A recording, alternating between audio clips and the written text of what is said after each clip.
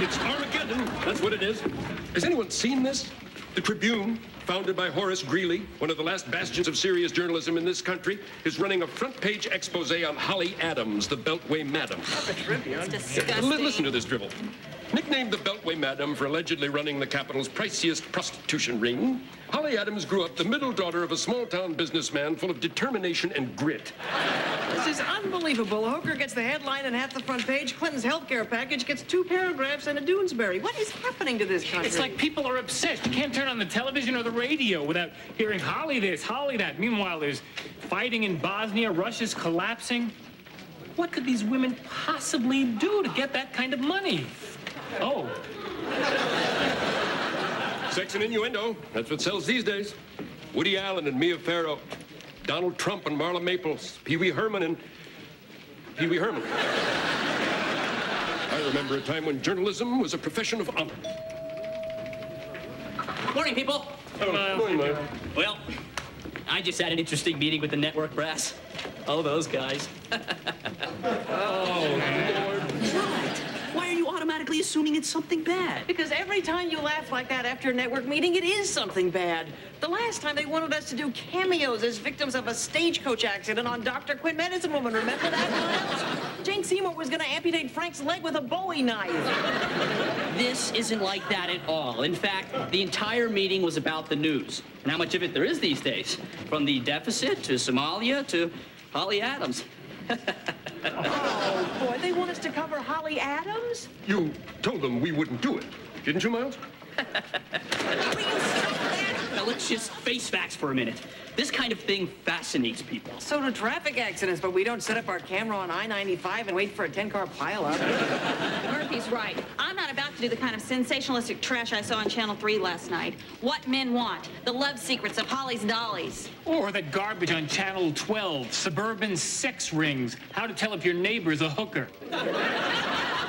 What about that capital sex pose on Channel 8? Will someone please explain the news value of reporting from inside an S&M shop? There were devices in there they could have front-mounted on tanks during the Gulf War. Well, well, well. Considering how disgusted you all are by all the coverage, it doesn't seem like any of you missed a single report. It was on while I was folding my laundry. It, it was Doris's night with the clicker. I was uh, looking for the Discovery Channel. Admit it. You weren't folding or flipping or clicking. You were watching. And why? Because you were curious. Everyone's curious. Who's hooking? Who's being hooked? Is there a black book? Who might be in it? People. There is a story here, and our competition is running with it. Are we going to be the only ones left in the dust? Fine with me. Sure. Fine. So what if there are 37 other magazine shows waiting to drive us off the air?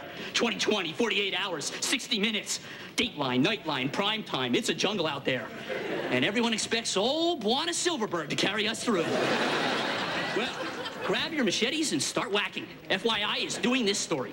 Now you can whack all you want, Miles, but you're whacking alone. Tell him, guys. Listen, Murph, you know, I don't like this story any more than you do, but this may be one fight we can't win. He's got a point, Slugger. In my experience, when the boys upstairs want hookers, they usually get them. Miles, I'm sorry, but I'm not going to have anything to do with this story. That's all right, Corky. You don't have to cover this. Oh, and Miles, I'm up to here with my Pentagon story. There's no way I'm going to be I, able to, I to know. break. Don't worry about it. No. You're not looking at me, Miles. Why aren't you looking at me? oh, no. The network specifically asked for you. Why? Why do you think? It's a cheap and tawdry story, and they need you for credibility. They're not the complete idiots you think they are. No, you're right, Miles. But with a little work and practice, I'm sure they could reach full idiot potential. Enough! Let me remind you about something, Murphy. This is a job, not make believe. We're not doing the Mary Tyler Moore show here. There's no audience laughing at every cute little thing you say. This is the real world. So when I tell you you're doing a story, you don't just say, oh, Mr. Grant, I don't want to. You do it. Now, Holly Adams is being arraigned in about 45 minutes, so you better hurry if you're going to get to the courthouse in time.